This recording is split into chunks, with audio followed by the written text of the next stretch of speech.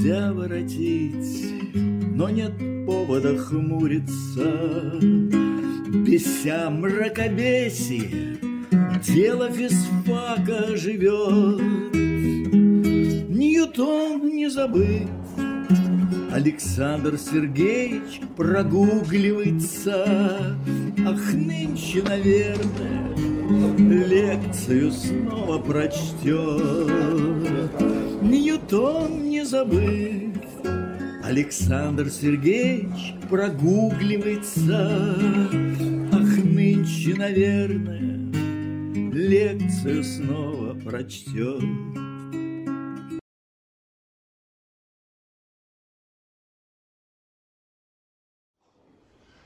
Ну, теперь надо придумать, как мы понимаем скобки Пуассона для двух операторов.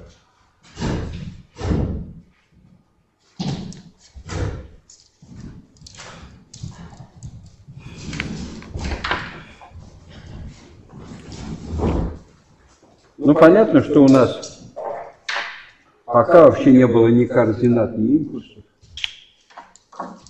Вообще непонятно, как тем определением, которые мы пользовались, как э, здесь пользоваться, совершенно непонятно, когда у нас оператор. Потому что у нас пока мы ни координаты, ни импульсы не ввели. Мы наоборот будем координаты импульса вводить через класса. Надо придумать что-то логичное. Ну давайте введем скобки Пуассона так, по определению, чтобы выполняли все эти равенства.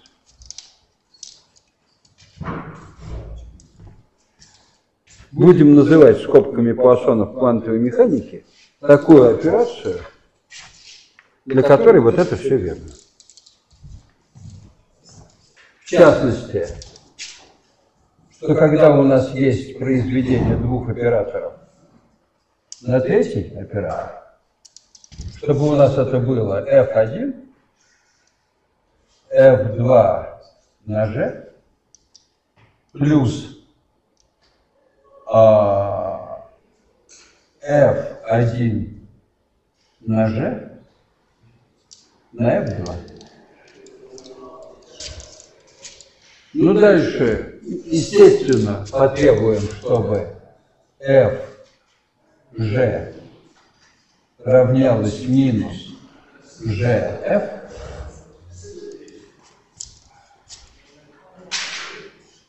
Ну и тогда из этих двух это уже равенство доказывает, что f на g1, g2 должно равняться G1, F, G2 минус а, F, G1, G2. Попробуем придумать такую операцию, для которой все это работает. Для этого мы рассмотрим страшную вещь. Мы сосчитаем скобки Пуассона от такой вещи. F1 на F2, G1 на G2. И поступим следующим образом. Сперва будем считать это одним оператором и раскроем вот там. Это будет F1, F2, G1, G2 плюс F1, G1, G2 на F2. А теперь раскроем G1, G2. При этом помню, что операторы нельзя менять местами.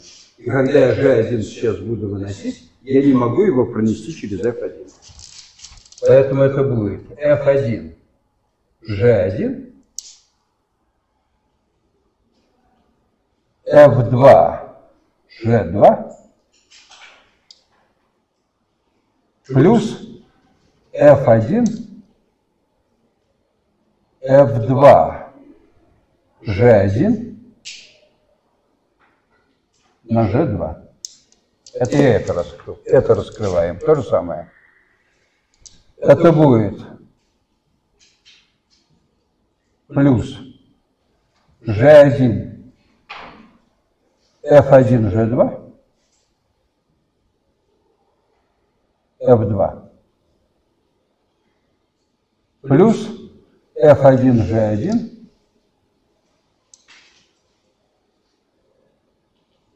G2, F2.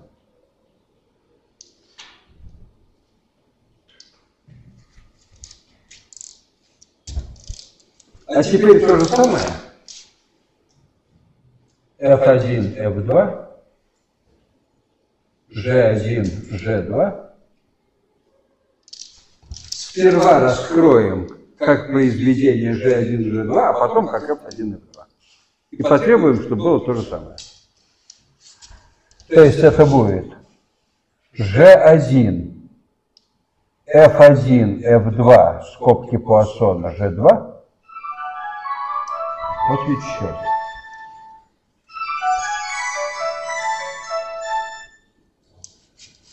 Плюс а, значит, я G1 вынес. Плюс F1, F2 на G1, а G2 выносим в эту сторону. Теперь раскрываем здесь.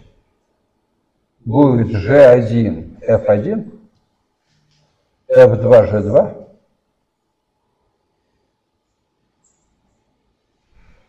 Плюс G1, F1, G2.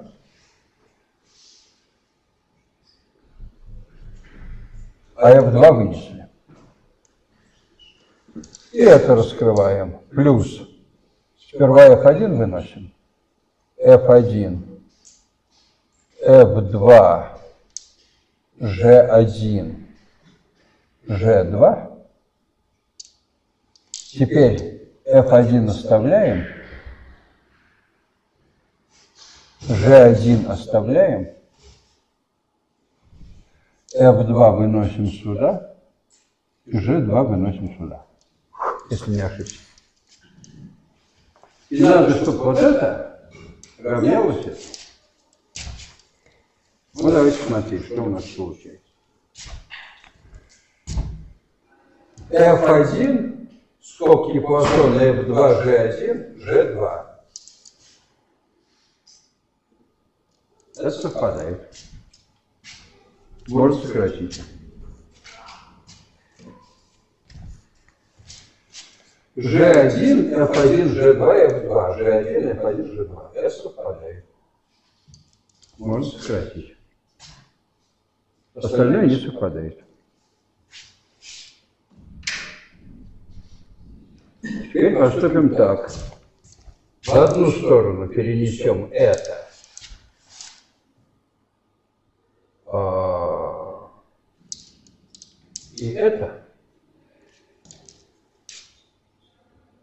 когда у меня получится F2G2 одно и то же, а из этого вычтется это. Получится F1 G1 минус G1 F1 на скобке Пуассона F2 G2.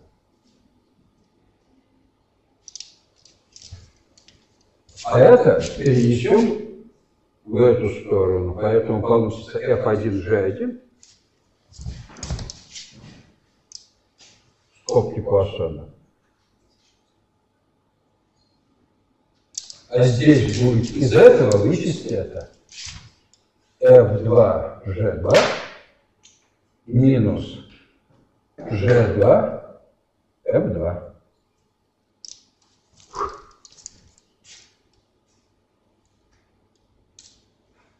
Господа, но ну, это коммутатор F1G1.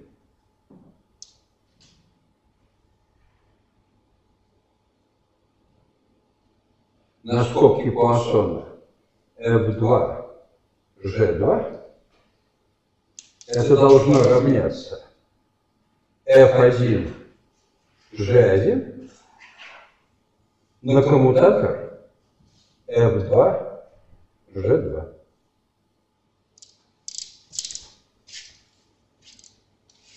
Давайте подумаем, когда такое может быть. Первое, что приходит в голову, если это на самом деле равно этому, а это равно этому. И первая гипотеза, которая получается, что вообще говоря, скобки Пуассона F, G, это есть коммутатор просто, F и G. Это неправда. С точностью до константы. И здесь, и здесь можно написать константу.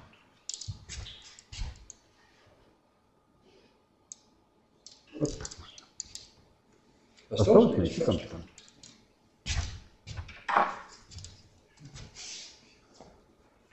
Для этого вспомним, что скобки Пуассона с физическими величинами входят выражение для скорости изменения физической величины, то есть тоже для выражения для физического оператора.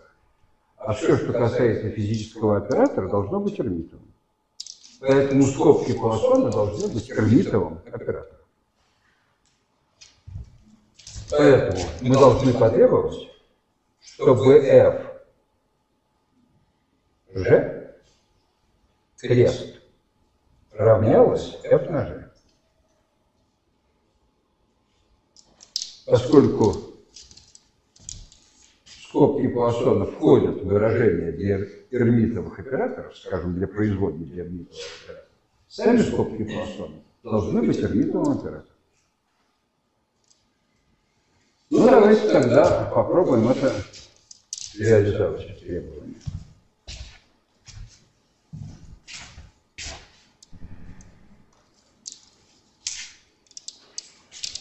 Значит, мы хотим, чтобы f, g, крест равнялось нашей константе на f, g и все крест.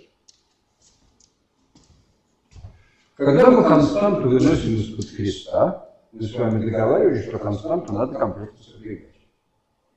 Это будет константа линейно комплектно сопряженная на f, g, крест.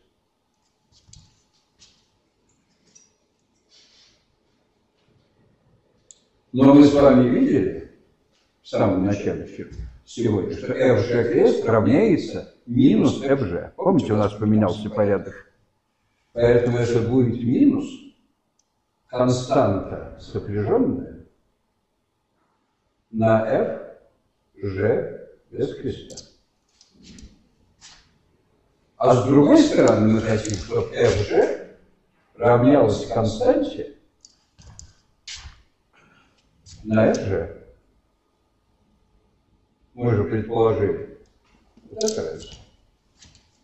О, как здорово. Оказывается, FG одно и то же. И мы получили, что константа должна равняться минус константе крест. Господа, это означает, что константа должна быть чистой.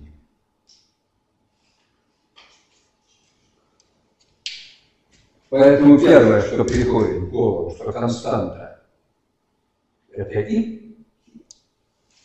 Но чтобы потом все удобно совпало,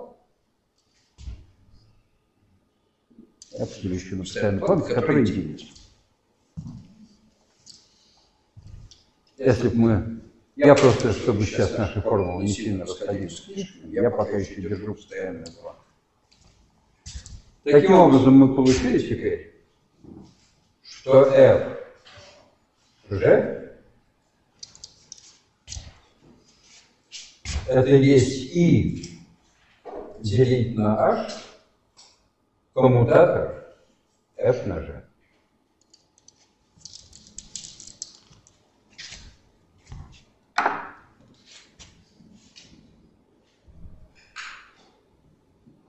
Господа, из не очень серьезного рассмотрения мы вроде придумали, мы вроде придумали что оператор кситы компонентки импульса равнялся минус и h d по d r ксита. Мы, мы писали минус и h на на было, да, для оператора импульса. Давайте попробуем взять оператор координаты кситы. Это просто кситая координата умножить. Тогда мы помним с вами, что в классике скобка Пуассона от P кситая Q кситая штрих классике чему должна была равняться? Символу Кромикера. Дельта Си Си штрих. Давайте проверим. Это будет И на H, коммутатор, P кситая на Q кситая штрих. Мы помним, что P кситая это такая штука, поэтому будет И на H минус И на H, а какая? Вот поэтому я и поделил на H, чтобы здесь у меня H сократилось. А здесь будет коммутатор оператора D по DRC на оператор, а, только купси, а если у меня координатная, то есть надо было сразу написать RC, да, RC штрих, для одной частицы обобщенная координата у нас это просто RC. На RC штрих. Но это будет единица, а здесь будет D по DRC на RC штрих минус RC штрих на D по DRC. Я коммутатор расписал. Любой оператор подразумевает, что за ним что-то стоит. Поэтому, когда стоит оператор дифференцирования, он хочет дифференцировать произведение RC на то, что стоит за оператором. Поэтому он должен сперва RC продифференцировать и дифференцировать то, что стоит, а то, что стоит за оператором, оставить в покое. Будет DRC штрих по DRC, а то, что дальше осталось в покое. А теперь он должен RC штрих оставить в покое и дифференцировать то, что стоит за ним. И от этого надо отнять RC штрих, но дифференцировать то, что стоит за ним. Это с этим сокращается. А если мы дифференцируем штрих по RC, то мы получаем единицу только в том случае, если индексы совпадают. Это есть символ Кромикера.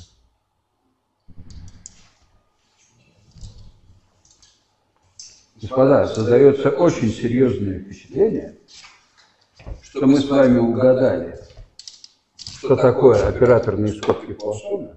Это с точностью до и на коммутатор оператора. Кстати, если мы здесь поменяем местами оператора, появится знак минуса, здесь появляется минус. Если у нас одна из величин не оператор, а функция, а какое-то число комплексное, то комплексное число коммутирует с любым оператором, поэтому будет 0. Поэтому это свойство тоже выполняется. Все свойства выполняются.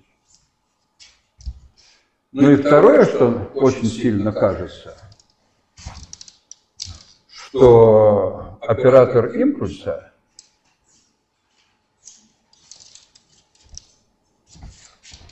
устроен вот так. Это вот такая штука, а оператор координаты вот такая штука. Кстати, можно было и по-другому договориться. Можно было сказать, что оператор импульса – это оператор умножения, а оператор координаты – это минус и на h, d оператор, d по d импульс. Так тоже можно.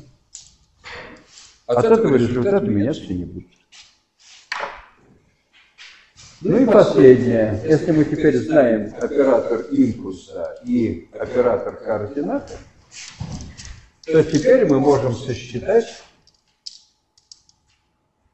коммутатор оператора импульса кситой на оператор координаты кситой. Кси штрихнутый.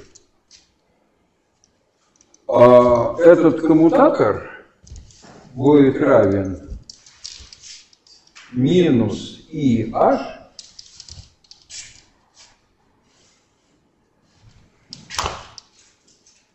на символ Кронекера почти штрих. Помните, мы говорили, что если коммутатор двух операторов А на Б равняется И на С, то неточность А в квадрате, среднеквадратичная поверхность, на неточность b в квадрате, среднеквадратичная поверхность, не меньше, чем и назначение на состоянии f модуля оператора c пополам.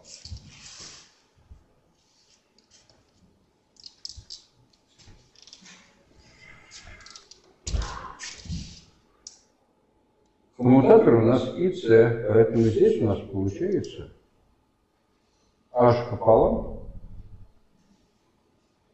на символ Кронекера почти все штрих.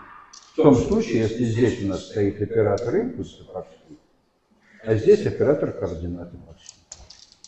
Тогда мы получили знаменитое соотношение определенности.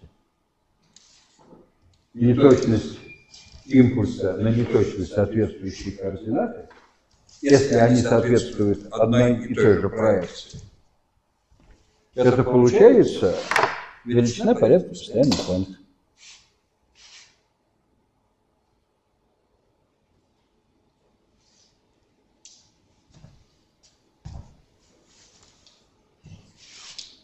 Вот так. Вот так.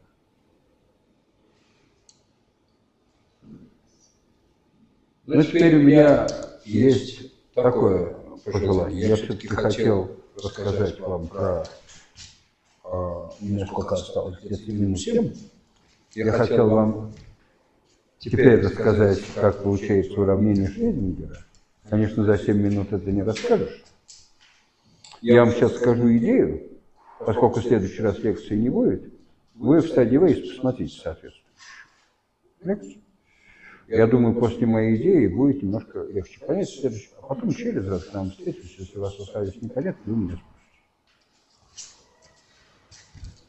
Идея